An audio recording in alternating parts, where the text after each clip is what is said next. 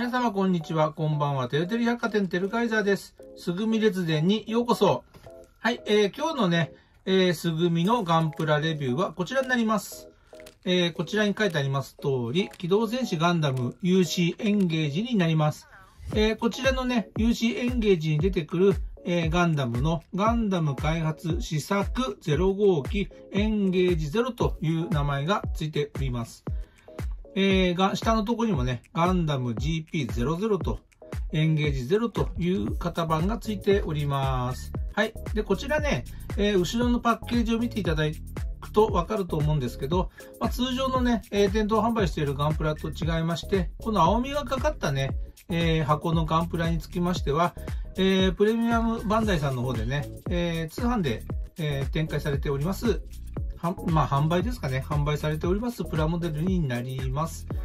はい。なのでね、えー、いつも店頭でお探ししてる、えー、方にとっては、こちらエンゲージゼロね、見たことないプラモデルだなと。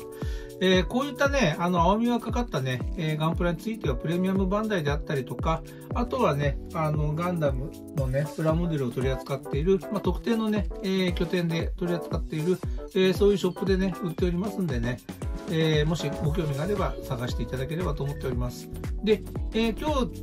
つぐみで作ったのはね、このエンゲージゼロになるんですけど、えー、まあ見ていただいてわかる通りね、まあ、全体的に、えこれ私ね、えすぐみで作っております。え当然無塗装、無加工で作っております。え無塗装でもね、えこれだけの仕上がりになっております。このね、え特徴的な胸の周り、あとはこの腰アーマー周り、えこの辺ね、すべて、あの、パーツが細かくね、えー、パーツが分かれておりまして、まあ、パーツの分けることによって、えー、色分けもね、綺麗にされているといった感じになっております。特にこのガンダムの特徴的な胸のね、ダクト部分とかね、えー、こういったところも、あの、埋め込みでね、えー、別パーツになっているので、これ黄色とて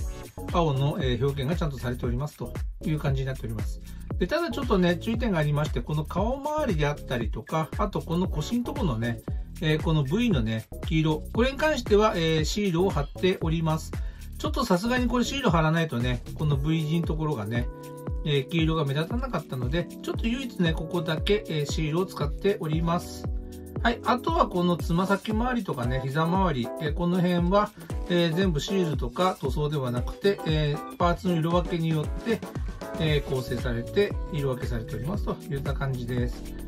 はい。ビームライフルに関してもね、えグレー一色になっちゃうので、まあ、あの、気になる方はね、え墨入れとかしていただくと綺麗になるかと思います。はい。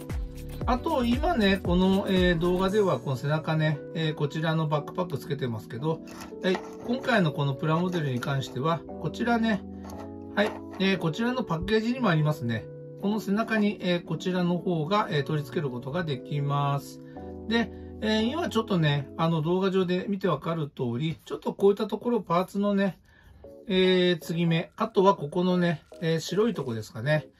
えー、やっぱり無塗装無加工で作ってるので、えー、ランナーからの切り離しね、ニッパーで切り離したところに関してはこんな感じで白く残ってしまいます。え、この辺はね、ヤスリがけをして、あの基本的にね、ガンプラ、この部分だけヤスリがけってないんでね、まあ、全体的にここのね、面を全体的にヤスリがけをして、まあ、綺麗に仕上げていくと。あと、ここに縦にね、やっぱり動画では見えておりますけど、えパーツの継ぎ目もね、えー、つなぎ目も気になるようであれば、まあ、こういったところをね、えー、やすりがけと、あとはね、このベースコートみたいなの塗ってね、あの、綺麗に、えー、消していくといったことをすると、あの、綺麗な仕上がりになるかなと思います。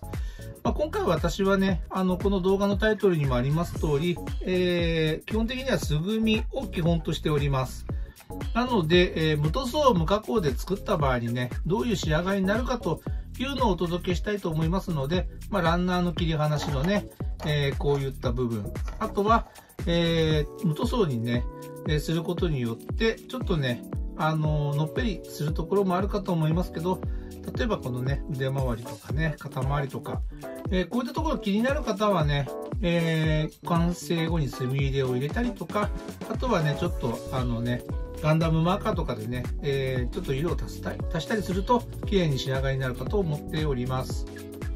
はい。とは言いつつも、この動画の、え趣旨としては、えー、すぐみで作っております。えー、シールドに関してもね、えー、白とこのブルーね、はめ込み式で、えー、色分けされているので、綺麗に仕上がっております。はい、こう考えるとね、えー、すぐみ列伝という形で、えー、レビューさせていただいておりますが、えー、最近のガンダムのプラモデルはね、非常に、えー、精密にね、え、作られております。なので、こんな感じでね、えすぐみで作っても十分ね、楽しめる、え仕上がりとなってるかなと思います。で、あとね、ちょっとこのガンプラの気になった部分は、もう完成させちゃってるのでね、えー、すぐみで完成したものを、えー、レビューするコンセプトでやってるので、途中のね、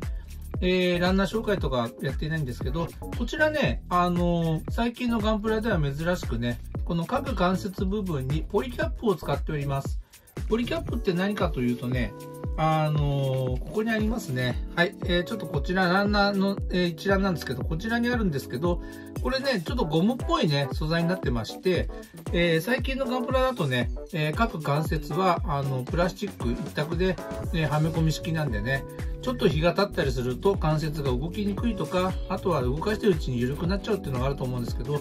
こんな感じでね、えー、ポリキャップ、えー、関節の部分がゴムを使っているんで、えー、こちらのガンプラに関してはね、え関節の、え稼働に関してはスムーズに動かすことができます。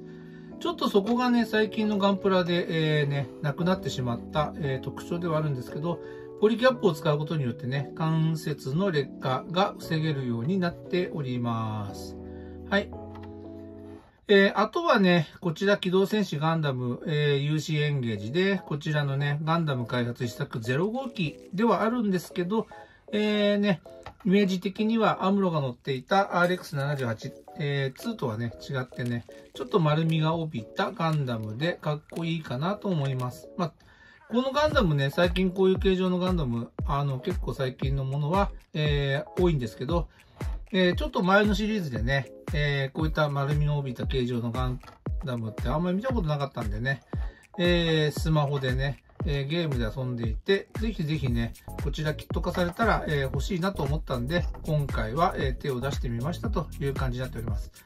で、この背中のね、バックパックに関してはこんな感じでオスメスになってるので、はい、こちらね、えー、差しか、えー、差し込みで、えー、差し替えができますといった感じになってます。あと、このバーニャの、ここもね、関節、えー、稼働上、稼働になっておりますんでね、まあ、こんな感じで宇宙での、えー、飛行形態ね、えー、まあ、イメージすることができますといったキットになっております。この足回りもね、すべてあのシールとか、えー、無塗装無加工でね、やってるんですけど、えー、綺麗にね、パーツの、えー、ね、組み合わせによって色分けされてるんでね、かっこいい仕上がりになっておりますといった感じになっております。はい、以上となります。まあ、顔もね、かなり綺麗にね、えー、仕上がってますんでね。はい、えー、こんな感じで、えー、私の動画ではね、皆さんとの逆説で、えー、無塗装無加工、まあ、買ってきたね、状態で、えー、組み立てたらどういう仕上がりになるかというものをお届けしておりますので、まあ、よろしければね、チャンネル登録よろしくお願いします。えー、この動画良ければね、高評価お願いします。えー、チャンネル登録をして、えー、引き続きね、こういう素組みで作ったガンプラがどういう仕上がりになるかというのを知りたい場合は、私の動画を見ていただければなと思っております。はい、以上となります。えー、今日は、えー、機動戦士ガンダム UC エンゲージに出てくる、えー、ガンダム開発試作0号機エンゲージ0の、えー、すぐみレビューをさせていただきました。ご視聴ありがとうございました。てるてる百貨店てるカイダーでした。バイバイ。